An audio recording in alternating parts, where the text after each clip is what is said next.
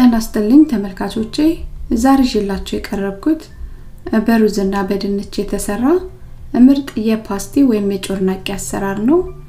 ለቻናል አዲስ ከሆናችሁ subscribe በማድረግ ቤተሰብ ሁኑ። አዳዲስ ቪዲዮዎችን post ሳደርግ እንዲደርሳችሁ የደውሏን ምልክት አብራችሁ ተጫኗት። አመሰግናለሁ። ወደ አሰራሩ እንሄዳለን።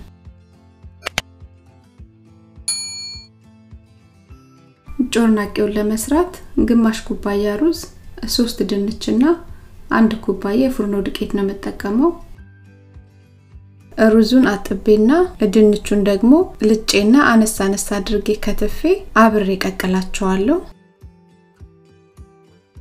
ሩዙንም ድንቹንም ሙክክ አድርጌ ነው ያበሰልኳቸው። ሩዙንና ድንቹን በድንች መዳመጫ እየዳመጥኩኝ እፈጫቸዋለሁ ወደ ሊጥነት እስኪቀየሩልኝ ድረስ። ሩዙና ድንቹ ተዋህደው ወደ ሊጥነት ተቀይረዋል። ሁለት የሾርባ ማንኪያ የ corn starch አስገባለሁ። አንድ የሻይ ማንኪያ ጨው፣ አንድ የሻይ ማንኪያ የነጭ ሽንኩርት ዱቄት፣ ትንሽ እርድ አስገባለሁ ለ color። ደረቁን parsley አስገባለሁ። አንድ የሾርባ ማንኪያ ያህል ነው የማስገባው። ፍረሹንም ካገኛችሁ በሱ መጠቀም ይቻላል። ሙሉ ለሙሉ እስኪዋሃዱልኝ ድረስ እያቦካው አቀላቅላቸዋለሁ። አንድ የሾርባ ማንኪያ ያህል ዘይት አስገባለሁ።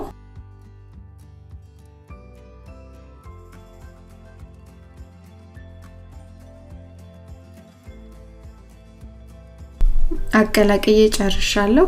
ለ30 ደቂቃ ሊጡን ፍሪጅ ውስጥ አስቀምጠዋለሁ ትንሽ ቀዝቀዝ እንዲልልኝ። ሊጡ ከ30 ደቂቃ በኋላ ይህን ይመስላል። ቅዝቅዝ ብሎ ወፈር ተደርጎ የተቦካ ሊጥ መስሏል። ሊጡን ግማሹን ነው የምጠቀመው።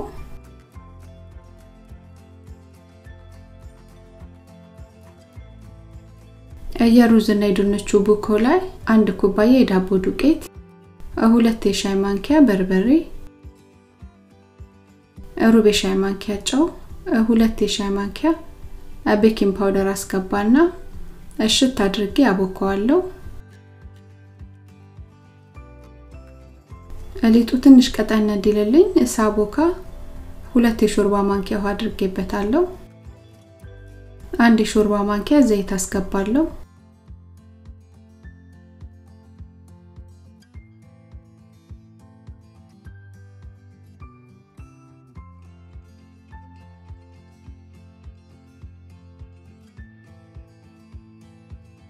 እየጋለ ዘይት አለኝ።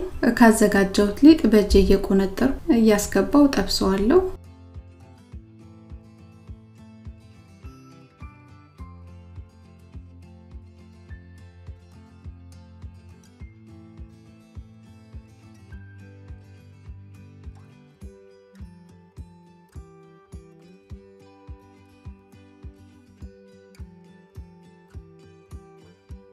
ጮርናቄው ቆንጆ ሆኖ በስሎ ተጠብሷል።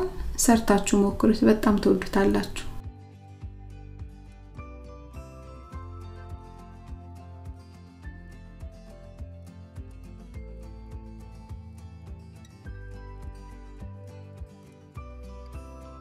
ይህን ይመስላል ቆንጆ የፓስቲ ወይም የጮርናቄ አሰራር።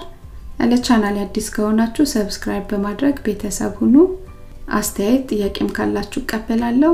አመሰግናለሁ። ደህና ሁኑ።